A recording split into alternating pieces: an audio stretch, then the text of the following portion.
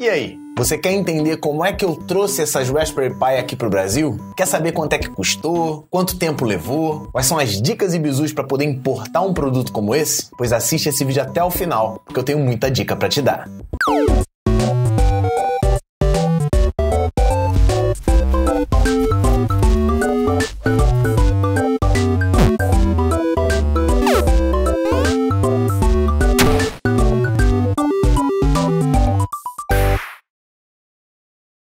Olá, tudo bem? Seja bem-vindo, seja bem-vinda a mais uma aula aqui do seu curso de Raspberry Pi em uma grande parceria entre o curso em vídeo e o Estudonauta. Espero que você esteja gostando desse curso. A gente vai transformar essa máquina em uma máquina de programação, mas dá para transformar ela em muitas outras coisas, aí é só no Estudonauta, a gente já falou sobre isso. Mas uma dúvida que sempre fica é: "Cara, Guanabara, onde é que tu comprou isso? Como é que tu trouxe pro Brasil? Você foi taxado? Quanto que custou? Quanto tempo demorou para chegar?" E eu vou te explicar exatamente isso passo a passo. É importante eu te dizer o seguinte: eu não estou fazendo propaganda para nenhuma loja, nenhuma empresa patrocinou esse curso, então eu estou te mostrando a minha experiência. Não toma como verdade absoluta tudo aquilo que eu falar. Ah, ó, eu vou te dizer quanto tempo demorou para chegar. Essa placa chegou nas minhas mãos em menos de 30 dias, mas também não significa que você vai comprar e vai chegar em menos de 30 dias. Pode chegar em um pouco mais, pode até chegar em um pouco menos. O preço da placa pode ser um pouco maior ou um pouco menor. Você pode receber aquela taxa da alfândega brasileira. Ou o seu produto pode ser taxado e você pagar um imposto absurdo. No meu caso, eu também não paguei imposto. Então, assim, não considera que porque aconteceu comigo, vai acontecer com você. Ou se não aconteceu comigo, não vai acontecer com você. O que eu estou relatando aqui é a minha experiência e eu vou te dar algumas dicas que talvez sejam importantes para você. Em primeiro lugar,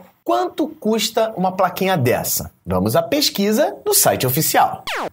Estou aqui em raspberrypi.org, é só você procurar Raspberry PI, né, tudo junto, raspberrypi.org. Aqui nós vamos clicar em produtos. Eu tenho o Raspberry Pi 4 Model B, que é o modelo que está vigente no momento em que eu estou gravando esse vídeo. Pode ser que no momento que você está assistindo tenha saído uma nova e qualquer update, né, importante ou interessante ou valioso que a gente acha importante te passar, depois a gente passa. Vou clicar aqui em mais informações e ele tem lá, ó, a plaquinha, tudo mais, e tá aqui, ó, a partir de 35 dólares. Mas vamos ver o preço oficial de cada um dos modelos. Então, ó, vou vir aqui e nessa área aqui eu consigo dizer qual modelo, qual, quanto de memória tem de 1 GB, de 2 GB, de 4 GB e em que país eu quero comprar. No momento em que eu estou gravando esse vídeo, não existe nenhum vendedor oficial no Brasil. Eu acredito que não demore muito, porque ele já foi homologado aqui pela Anatel. Então provavelmente vai vir, né, os vendedores oficiais aqui no Brasil, mas no momento não tem. Eu vou vir aqui em Estados Unidos Unidos. Também não existe nenhum vendedor na China, tá vendo? Ó? Vendedor oficial, né? Reconhecido pela Raspberry. Então eu vou entrar em qualquer um desses aqui. Qualquer um desses aqui vai te dar o preço oficial. Então, ó, tá aqui nesse Kanakit, que não foi onde eu comprei, eles custam a de 1 GB, deu 35 dólares. Vamos ver quanto é que tá o dólar? Isso você vai fazer isso na sua casa nesse exato momento, porque no momento que eu tô gravando, o melhor conversor de moeda é o Google. Então você vai botar assim, ó, 35 dólares em real. Só digitar isso aqui. Vai no Google e digita 35 dólares em real. 35 dólares, nossa, eu digitei dolarares. Deu R$ 142,40 no dia em que eu tô gravando esse vídeo. É, cotação de dólar muda constantemente, inclusive dentro de um mesmo dia. Então, no momento tá 142 reais. Isso a versão de 1 GB. Vamos ver a versão de 2 GB. 2 GB, ele tá 10 dólares a mais. É sempre a diferença de 10 em 10 dólares. Custa 45. Vamos fazer 45 aqui, ó. Aí já tá aberto, é só botar 45. 45 vai dar, ó, 183,09. Então, se você, né, comprar hoje oficialmente no preço oficial, 183 reais. E o de 4 GB, que foi essa que eu comprei, foi 55 dólares. Na verdade, eu não paguei 55. Eu vou te mostrar quanto que eu paguei. Paguei um pouco mais. Então, 55 dólar americano dá 223,77. Então, vamos, vamos arredondar? 230 reais é o preço dessa placa se você comprar nos Estados Unidos na loja recomendada pela Raspberry Pi, pela fundação. Beleza. Mas aí você me pergunta, Guanabara, onde você comprou? Eu vou te dizer, cara. Isso não é uma propaganda, até porque eu nunca tinha comprado nessa loja, apesar dela ser bem famosa. Foi a AliExpress. Você pode comprar onde você quiser, cara. Eu vou te mostrar a minha experiência, onde foi que eu comprei. Inclusive, se você procurar aqui nos links da descrição, eu coloquei alguns links, inclusive o link na loja que eu comprei, para que você possa ver ali na AliExpress. Mais uma vez dizendo, isso não é um patrocínio. Os links que estão ali embaixo são sim links afiliados. E se você realmente for comprar esse computadorzinho, compra por esses links que você acaba indiretamente ajudando o canal. Mas de forma alguma isso é um vídeo patrocinado e nem uma garantia absoluta de entrega nem nada disso. Se você tiver afim de trazer o seu Raspberry Pi seja o 4, o 3B+, essa case oficial, né, a case oficial do 3 ou do 4, aquela case de alumínio que a gente usa aqui nas aulas, a case do Super Nintendo ou qualquer outro tipo de videogame, tá tudo aqui embaixo, links na descrição. Basicamente, eu comprei essa aqui, ó. Você vai na AliExpress, pesquisa por Raspberry Pi 4. Eu já até tenho aqui, ó, Raspberry Pi 4. Eu não comprei nesse cara, porque esse cara na época tava um pouco mais caro. Eu comprei nesse segundo aqui, ó. Comprei nessa loja. Vai aparecer o nome dela aqui, ó. Essa aqui, ó.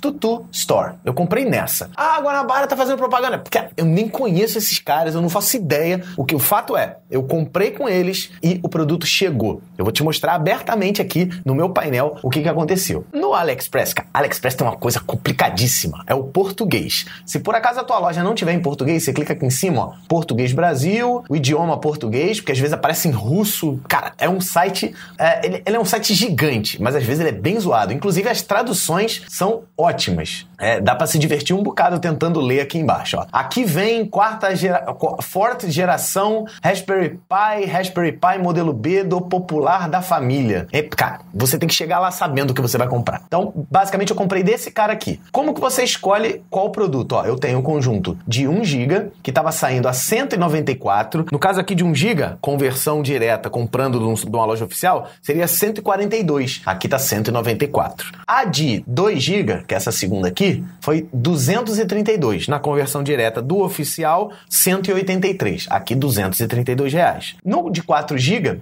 que é essa terceira aqui, 289,50. Foi o valor que eu paguei. Vocês vão ver já já no meu painel de compras aqui. 289 na conversão direta do fabricante, né, do, da loja oficial de uma loja recomendada, 224. Então não achei tanta diferença, 224 reais para 289. Até porque pela AliExpress para minha compra, no lugar onde eu moro, que é o Rio de Janeiro, aqui no Brasil, ficou o frete grátis. Então, beleza, até aí tudo bem. Agora chegou a hora de eu te mostrar abertamente o que, que aconteceu, né? O que, que aconteceu na minha experiência. Então, eu vou vir aqui em minha conta, no AliExpress, meus pedidos. Vou abrir aqui abertamente os meus pedidos. Voltando a dizer, não conheço a loja, não conhecia a experiência de comprar na AliExpress, enfim, beleza. Tá aqui, ó, minhas compras. O que eu comprei até hoje, na minha vida, o que eu comprei na AliExpress foi uma Raspberry Pi. E isso daqui que provavelmente eu já te mostrei. Não sei porque no momento em que eu tô gravando esse vídeo eu não mostrei, mas foi essa casezinha aqui, que é um Super Nintendo, cara. Ela é sensacional. Então comprei esses dois aqui. Você vai ver o preço das duas, inclusive. Ó, eu paguei 64 dólares e 70 centavos, tá vendo? Porque na verdade ele mostra lá em real, mas na hora que você paga, você paga em dólar. Então você tem que ter um cartão internacional aí para poder trabalhar. E aí eu vou mostrar aqui, ó, rastrear pedido. Só peço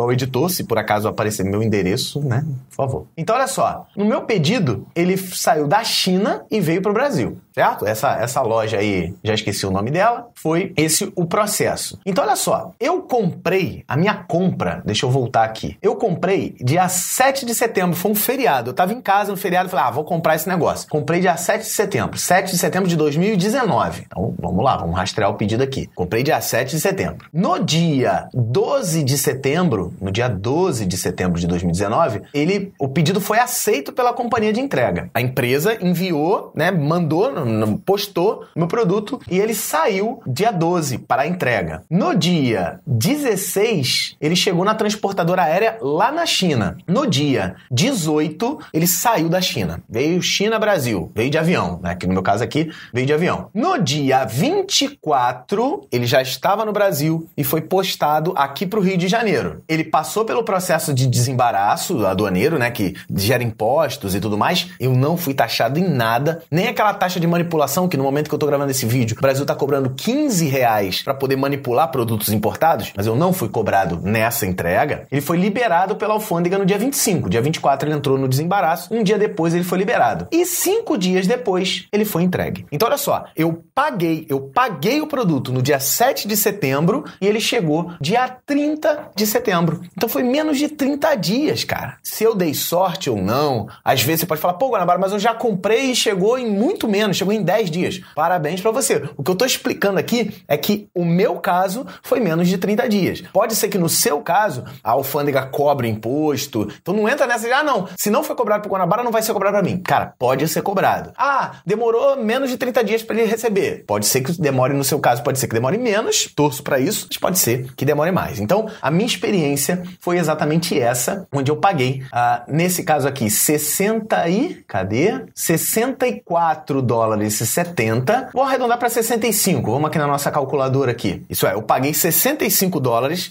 eu paguei 10 dólares a mais, o que me deu 264,46. Então, assim, eu paguei 270 reais e se eu comprasse na loja oficial, eu pagaria 224. O meu frete, deixa eu ver se eu acho aqui onde é que foi o meu frete. Tá aqui, ó eu comprei nessa loja, primeiro, porque tinha avaliações muito boas, né? Quem comprar na AliExpress é muito parecido com comprar no Mercado Livre. Não compra com uma loja que tem pouco tempo, né? Então eu vou ver aqui, ó, detalhes. Eu acho que é aqui que mostra o frete. Ó, então olha aqui, ó. É, fica aqui no final, aqui, ó. Custo do envio. Zero. Então eu paguei ao todo 64. Cara, não tô, não tô te escondendo nada. Foi isso aqui que eu paguei. 64 dólares. Como curiosidade, não sei se você é, ficou curioso, basicamente eu comprei esse kit aqui com a case e um controle, né? Foi isso aqui, ó. Esse foi o kit que eu comprei. Veio a casezinha toda desmontada, não veio o Raspberry Pi e vem esse controle aqui. Importante, essa case não é pro Raspberry Pi 4, ela é pro Raspberry Pi 3. Ainda não saiu, a Retroflag ainda não lançou a versão para 4 no momento em que eu tô gravando esse vídeo. Quando lançar, com certeza eu vou comprar e aí eu gravo um vídeo para você. Então beleza, tá aqui. Ela foi, ela custou ao todo, ó. Eu tive envio, eu tive custo de envio, foi 1,43, 1 dólar e 43, mas paguei ao todo 29 dólares e 42. Vamos fazer aqui 29 e 42, vou arredondar para 30. Então 30 dólares ao todo eu paguei 122 reais. 122 reais no kit da case com o controle. E para finalizar esse vídeo, eu vou te mostrar como seria para comprar aqui no Brasil no momento em que eu tô gravando esse vídeo. Vou usar o Mercado Livre como referência, né? Porque é onde a galera geralmente compra. E a gente vai fazer a comparação aqui. Vou procurar por Raspberry Pi 4 aqui também. Então tá lá. É, a versão de 4 GB, ó, esse vendedor aqui, que provavelmente é o que tá mais famoso, não, né? Esse cara aqui, não sei se ele pagou e tudo mais, ele tá cobrando 629 reais na versão. Ah, mas ele vem com carregador e coisa. Eu quero só a placa aqui, só a placa. 509 ou 539. Isso depende do vendedor. 500 reais, 510 reais. Eu paguei 264 reais, 260 e poucos reais, e aqui tá cobrando 509 e provavelmente tem frete também. Isso pro Brasil. O cara já fez a importação. É aquele esquema: o cara compra 10, 20 da China, aquele preço, esse preço que eu comprei, traz para cá pro Brasil, ah, não tem nada de desonesto, trouxe, importou bonitinho, quer vender, ele vende pelo preço que quiser. Mas a versão de 4 GB tá sendo vendida, comercializada, essa versão que eu tenho aqui, essa versão daqui, tá 500 reais, 500 e poucos reais, e eu paguei 260 reais, também arredondando um pouquinho para baixo. Beleza? Outra coisa, outra curiosidade, tem uma galera pedindo, né? Uma outra coisa que eu comprei, na verdade eu comprei junto com um pacotão de um amigo. Eu comprei essa case aqui, ó. Essa case aqui, ó, de liga de alumínio, que é essa que você tá vendo aqui, ó. Você tá vendo aqui na minha mão. Essa case, tá vendo? Ela. Ah, não, não foi exatamente essa, não. Mas enfim, essa. Ah, aqui, ó. Essa aqui com, com ventoinha. Tem essa versão 100. Na verdade, essa é a versão 100. Tá vendo? 52 reais. Eu acho que eu paguei no todo isso aqui. Foi uns 80, uns 70, 80 reais. Ver essa case de alumínio, que eu fiquei preocupado com o calor e tudo mais. E essa casezinha aqui, original, é, eu comprei pelo Mercado Livre, na verdade. Ela custou acho que 60 ou 70 reais pra, pra colocar. Também comprei ela só pra gravar o vídeo pra vocês. Beleza? Então essas foram as dúvidas. Não fui taxado, recebi razoavelmente rápido, gostei da experiência e economizei uma grana. E você pode fazer os testes aí também numa Raspberry Pi 3B+, né, se você tiver um pouco sem grana. Vou fazer só mais uma busca aqui, coisa rápida. Eu quero na AliExpress, vamos pesquisar a Raspberry Pi 3 Plus, B+, né, a B+. Vamos ver aqui. Pô, tem um vendedor, ó, só a B Plus, ó, a B+, 189 reais. Isso com 1 GB de memória. A B+, tem 1 GB de memória. Aí analisa só. A, se comprar essa Raspberry Pi 4 de 1 GB, 142 reais. Se eu comprar a de 1 GB no meio oficial, né, numa loja reconhecida, 142 reais, 150 reais. Aqui 189 na 3B+.